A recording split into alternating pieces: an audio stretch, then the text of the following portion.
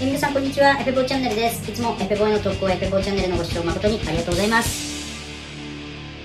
さて今回も、えー、プレミアムなバッファー搭載のボスの TU3W 技シリーズとそれからウルトラバッファー搭載のコルグさんの新しいねピッチブラック X シリーズの XS、えー、こちらのそれぞれバッファー試したらね、えっ、と音がやっぱちょっと多少傾向がねこう違うということでですね今回弾き比べしてみたいと思います。コードとねアルペジオをやってみたいと思いますけども今回も、えストラトの、えっとブリッジピックアップでこれバッファーなしだとすごいわかるんですけど。これ今バッファーなしですね。で、コルグさんをまずバッファーオンにすると、すごい高音域が。なんかエフェボ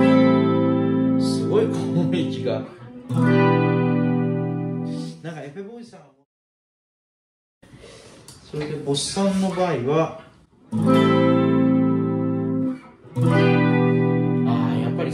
元気があるっていうか、ズバッとやっぱ出るんですよね。やっぱ低音中音域がすごくバランスが全体が取れていて、